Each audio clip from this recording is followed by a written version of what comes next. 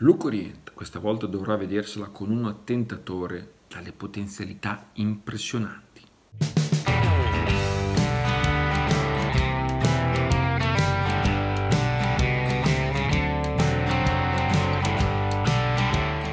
«24 ore per il pianeta Terra» è un'altra storia, one shot, singolo albo, che parte con un'investigazione che potremmo definire quasi canonica, cioè nel senso che potrebbe sembrare quasi un albo alla Rick Roland dal tipo di investigazione e diventa solo successivamente ad alto tasso, diciamo così, fantascientifico. E tra le due direi che sicuramente trovo l'incipit più intrigante, mentre la seconda parte, quella che va sul fantascientifico, non mi ha, non mi ha convinto molto. Ma andiamo un attimo a vedere di che cosa parla questo albo per poi tirare la riga e dare il giudizio.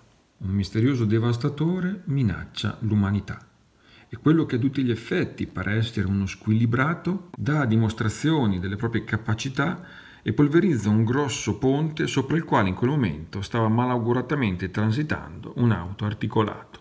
I sommozzatori mandati a recuperare il relitto riemergono con le tute tutte sbrindellate, probabilmente erose da un elemento distruttivo presente ancora tra i detriti, che si scoprirà essere un batterio. Il pazzo di qui sopra vuole che le nazioni si sottomettano al suo potere, altrimenti minaccia di passare a devastare un quarto dei territori dei paesi mondiali con la sua pericolosissima arma di distruzione. Ovviamente Luke e Urokala si metteranno ad investigare per capire dove potrà colpire la prossima volta il devastatore, mentre il tempo scorre e l'ultimatum va scadendo. Ma il mistero probabilmente nasconde ben più di un semplice pazzo con manie di onnipotenza.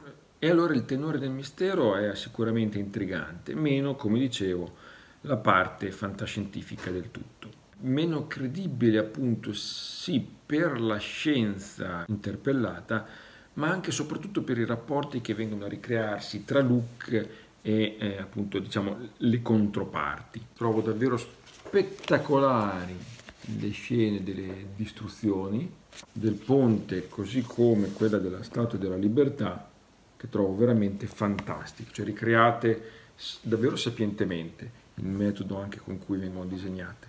Disegno che appunto vede come al solito il, suo punto debole a mio avviso dal punto di vista delle colorazioni, un po' con quello classico stile decisamente âgé per i tempi nostri. A livello di storia invece mi dispiace dire che purtroppo dal mio punto di vista siamo alla quinta totale e trovo che come storia appunto sia la meno appassionante, la meno convincente tra quelle lette sino ad ora. Quindi sicuramente non quella da, che, da cui partirei per consigliare eventualmente la lettura di Luca Oriente.